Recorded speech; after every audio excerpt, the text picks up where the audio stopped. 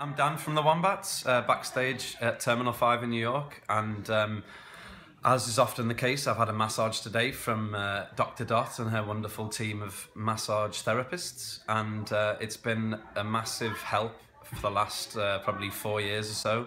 Um, it really is important to take care of your body, and Dr. Dot and her team really help um, you perform and live and not have problems with your arms and your legs and your back, um, which can make the shows not very fun. Um, so, a massive thanks to uh, her organisation for what they do. Dot bots. Dot bots.